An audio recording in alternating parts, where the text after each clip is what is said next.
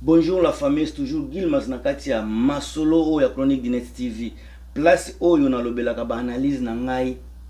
organique. Natangaka, nakotaka na ba plateforme ebele, nakoti na ba réseaux sociaux ya bato, natali soki namoni likambo ya malonga, na ye nasaleli na ngai analyse. Mais par surprise lelo nakotaki na, na nini na, na, na page ya mwana na biso mpo ngai naza noko ya bana ebele Bana tout ezala nana ketchup ya nicky menga naza noko ya batu wana tout na tali keyna ipupa la fille ya la fille ya papa la princesse de la dynastie ipupa alo akomi mama na ye nde queen mama na ye nde queen ya dynastie ipupa donc ye aza reine aza princesse mama na ye aza reine Donc Fally aza roi. Makambo wana elobi ebele elobi trop. Soki mwana aza koloba boye parce que ayebi nini eza koleka na se na se ya makambo nini eza koleka nsima nsima ya barido ya nsima bakamera ye azomona makambo wana c'est pour cela ayebi pourquoi abengi mama na ye reine ya dynastie ayebi pourquoi amibengi prince princesse ya dynastie ayebi pourquoi abengi mpe fali roi ya dynastie ayebi na mokuse mutu, mutu ya mayele asi ayebi asi ayoki makambo nazoloba me sika baoyo boza koya boza koyaka kofinga nikimenga bino bato boza koyaka kofinga nikimenga eza na mokolo bokoyoka soni oyo eza pre eza babengaka prophetie eza na mokolo bokoyoka soni liloba oyo mwana abeti na bareseau sociaux na plateforme na ye wana eza liloba ya, ya, ya, ya bakulutu il faut kozala na vision mpo na kokomprendre likambo wana alobi mama na ye aza reine ya dynastie pupa ye aza princesse ebongo roi ya dynastie pupa aza nani apart fali eza fali makambo ya kideuxième bureau omoni bagrace mbizi oyo eza na mokolo bokoyoka soni Muasi oyo aza kotinda bino bo fingaka batu. Nicky asundola dejà Fally na ba reseaux sociaux atika ye. Asalaka makambu na marque na ye. Ye moko ayebi nini eza koleka sima ya ba camera oyo. Ye na Fally ba ye moko ayebi. Afandi kimia. Bolinga te azonga na reseaux sociaux a, a, azongisa makambu. Lelo tokoma na kimia. Makambu nionso esila. Bino ba Grace Mbizi soki bozangi bozangi actualite. Musala na yo kofinga nanu grace mbizi oyo bandeko na ngai soki okoti na reseau sociaux lelo akofinga soit azofinga gloria soit afingi karine mokonzi afingi ni yo ofingaka na yo yo oza nanu mwasi ya ndenge nini grace mbizi toloba nanu oza mwasi ya ndenge nini tala faso okoma ondire mutu ya maladi nazoloba ngo na ndenge ya mabe te ondire mutu ya maladi grace mbizi mwana oyo obota azo aza na pap combien de papa soki otali bien depuis obota na bana na, na ba papa oyo bamonaka pa, na ba papa oyo mwana wana amonaka abengaka papa bakozala ata 10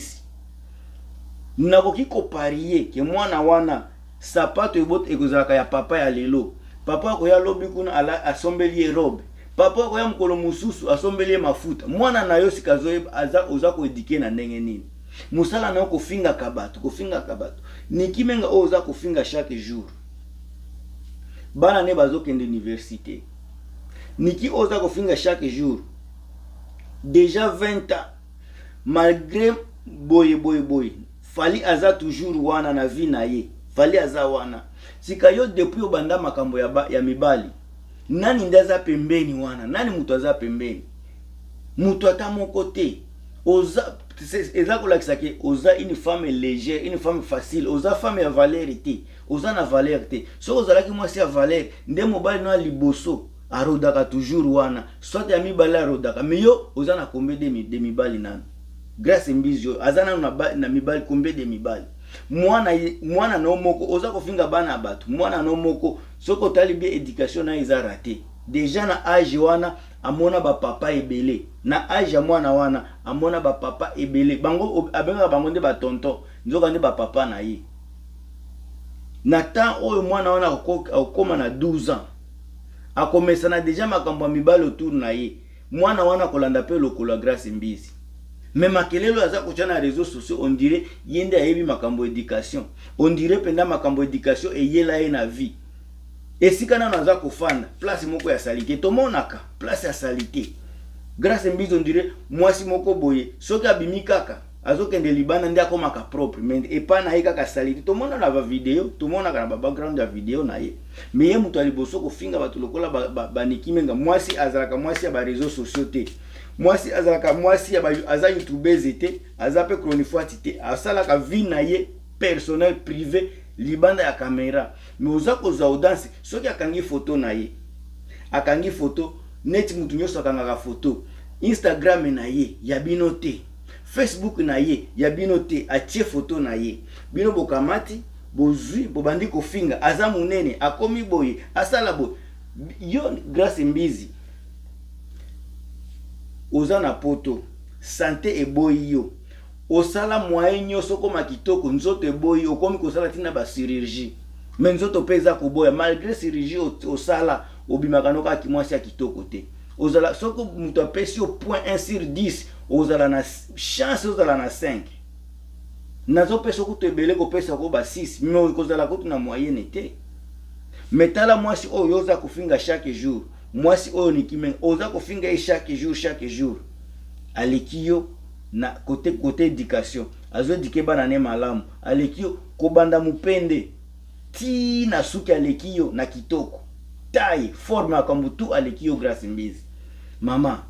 na mutu oyo aza kotinda yo mutu oyo ye aza kotinda aleki pe ye omoni aleki pe nana ke aleki ye donc batu liboke na bino tout niki menga aleki bango na kitoko pe na mayele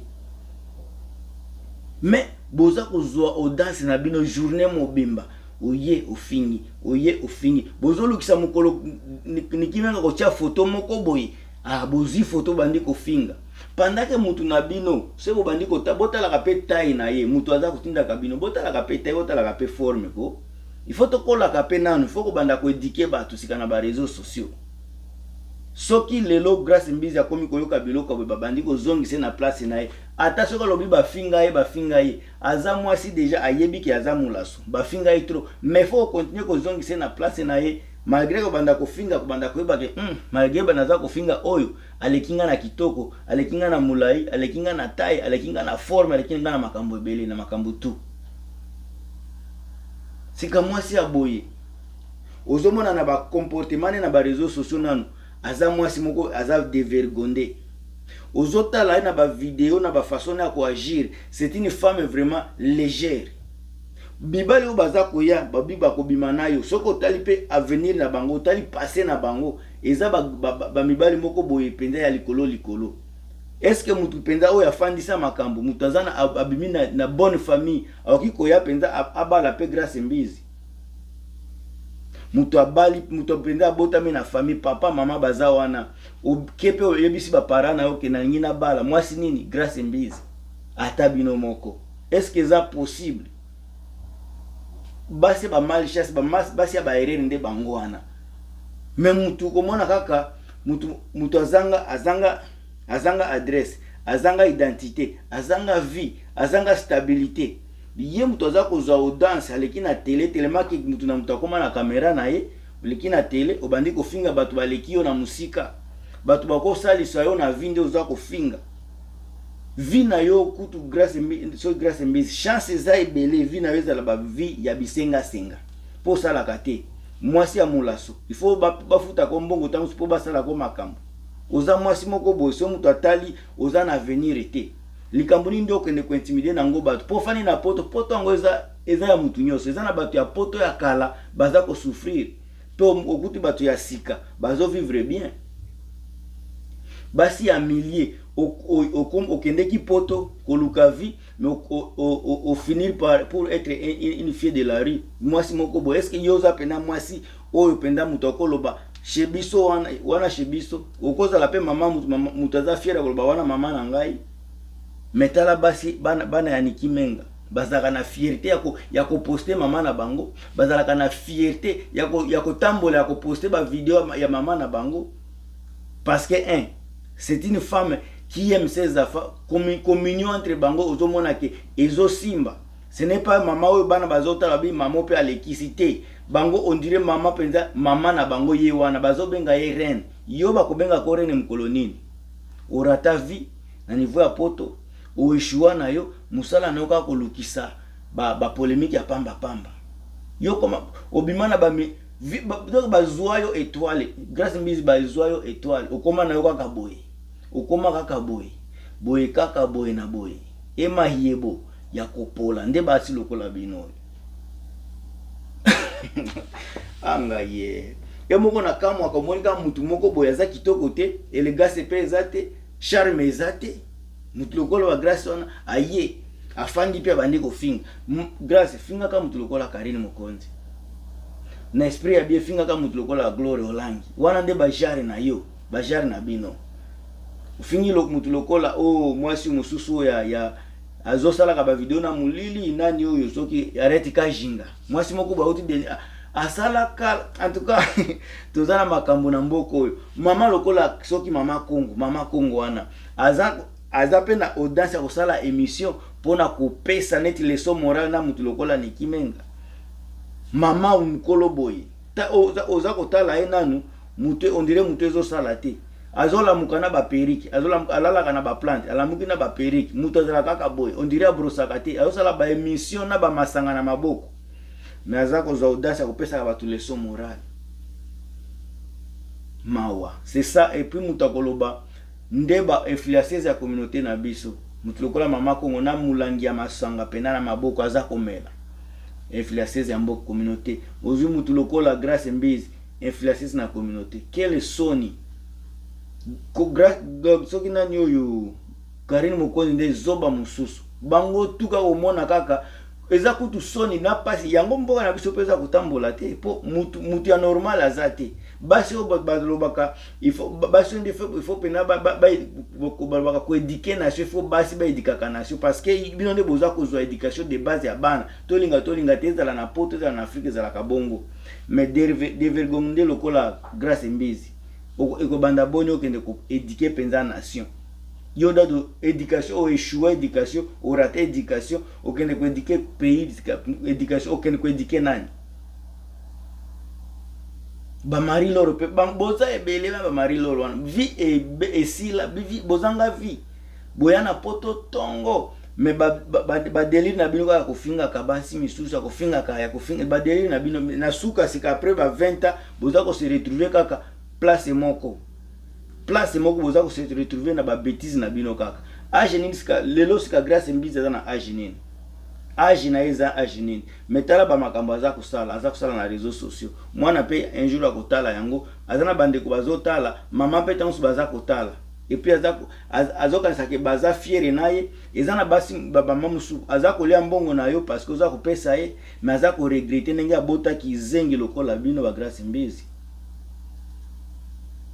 Nalobaka verite, nalobaka verite puisque veri, la verite affranchit. Nga naza koloba verite parceque eko sauve grace mbizi oyo ya zoba zoba gra maloba naza koloba tangu eko sauve pe na lobela Carine Carine abandaki ko changer parceque naza ko mema ye likolo bomona pe change soki botali changement botali Carine ya 2021 ya soki ya 2020 botala pe Carine ya 2000 ya, ya 2022 bomona a, a changer to contribuer na changement na ye sika grace mbizi nde sika il faut ye pe azonga na nzela eza systeme ya tour na tour Na esprit ya bien nga nasalaka ba emission ya milayi te parce que naza mwana poto nayebi ke poto c'est le temps l'etat c'est de l'argent oyo akosepela na emission oyo a partager a like yango bo pesa peta bo komisela nga ata emission oyo epa ya Grace Mbizi ayoka ke non eza na bato bazo sepela na comportement na ye te Niki Menga aza moninga na bino te aza femme oyo aza aboti na star ya Congo bana na ye bazo sala fierte ya Congo bazo kende mwana wana akende epupa kozala akoma avocat kala mingi te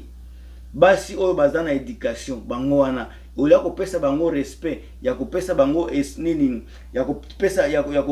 ya kopesa bango nini le, le, go, go ahead me bino bozolinga kozongisaka bango nsima congolais kimotema mabe na bino wana tozokanga yango catch